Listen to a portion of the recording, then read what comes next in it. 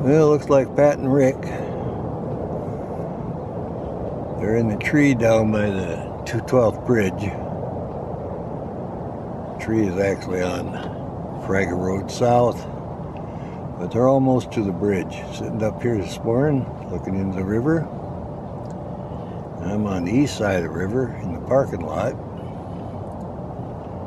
And getting a pretty good video here. Coming pretty good, the lighting is good. It's cold, 28 degrees.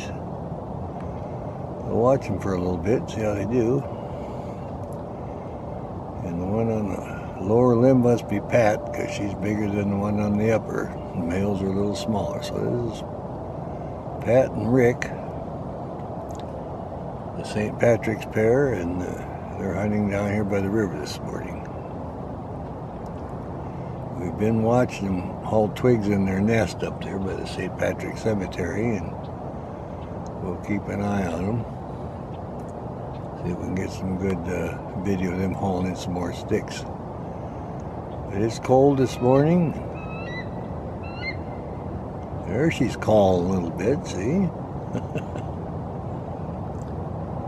it's good to get them together like this in the tree. And no leaves on it. I have to see them when I turned in on Frager Road South going down towards the Heritage Farm. And then I turned around, came back got on this side of the river in the parking lot. HD Supply is where I'm getting the video. And they're coming in just fine with that sunlight. I'm glad the fog is lifted.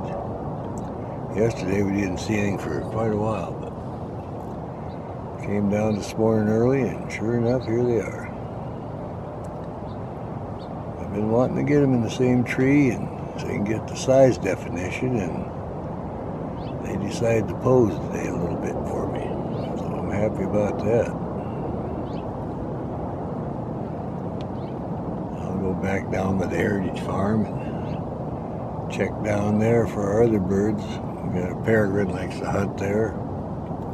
We have a couple of red tails. We have a Rufous Morph red tail and a eastern red tail, and we have the western red tail. So we keep an eye on them. And we're always looking for the red-shouldered hawk. He's moved down to the Green River Natural Resource Area. Sometimes makes his call down there. So if you're around there, you can check and see if you hear him or find him.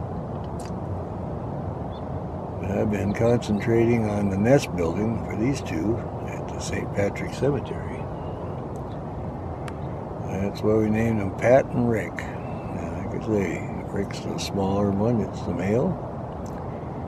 He's on the upper limb and the female's on the lower. Alright then. I'll try to get some still shots of these guys and uh, get on our way and see what else is going on in the area.